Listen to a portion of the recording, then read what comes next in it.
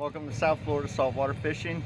I'm Heath and uh, today I want to go over with you some strategies of how to effectively fish a uh, inlet and produce fish. Um, right behind me is uh, we're at Boca Inlet. Um, there's the bridge at Camino Real. There's the inlet. Um, so basically some quick tips. Uh, rule number one, when you're fishing in an inlet, you always want the tide to be going out. What happens is the uh, the sediment and the, the the small little pieces of bait and food go towards the mouth of the inlet, and the uh, the bait fish come in and they feed on that, and that draws in the bigger predators. Um, so rule number one, if you really want to catch fish and not just feed the fish, uh, the little bait fish that is like Sergeant Majors and stuff, if you really want to produce stuff, the tide has to be going out. So, I don't know if you can see behind me, the tide is going out, which makes this actual a good tide to be fishing in inlet. But, as with uh, fishing, fish are cyclical feeders, so they tend to feed in the morning and uh, towards um, dusk. Uh, when the sun gets straight overhead like it is right now, it's about noontime. The fish tend to head out deeper in the water and disperse over the reef to uh, gain shelter and to uh, get into the cooler water. Uh, so right now is not a prime time to fish, even though the tide is right, which is it's it's a uh, tide that's going out. Um, so those are the two basic rules that you really need to think about when fishing at an inlet. Uh, you want the tide to be going out, rule number one. And then rule number two is, you know, pay attention to the time of day. Noon is not optimal time to be uh, trying to catch fish. It's very hot and they, like I said, they go deeper and they disperse over the reef trying to gain shelter from predators.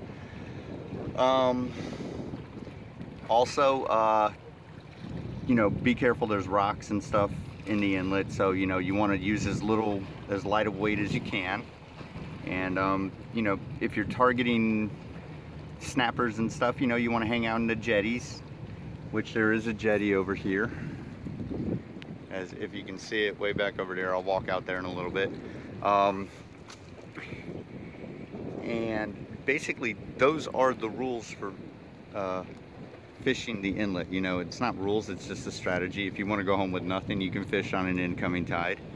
Um, so you know check your tide, tide charts they're available on the internet or at bait stores. Um, oh, and another note. Um,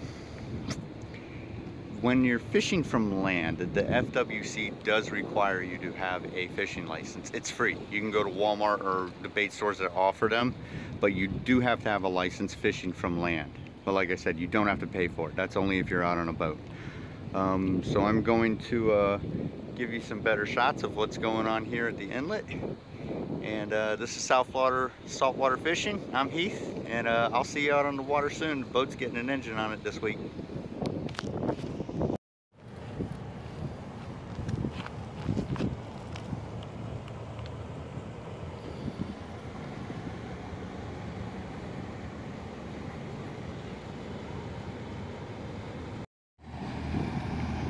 So as you can see, the tide is going out towards the mouth of the inlet out there at the end of the jetty. So it's a good tide to be fishing, but it's the wrong time of day seeing that the sun is pretty much straight up. Um, there's no bait fish in the inlet right now, but there should be. It's coming summertime. Pilchards should be swimming around somewhere. There's always goggle eyes. So that's basically it.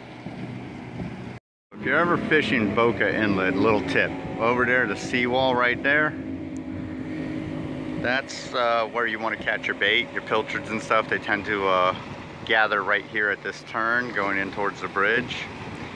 And then where you catch the fish is out at the end of the jetty, more towards the beach side, not so much on the inlet side. Uh, at night you get in big sharks. So if you want to do that sort of stuff too, you can.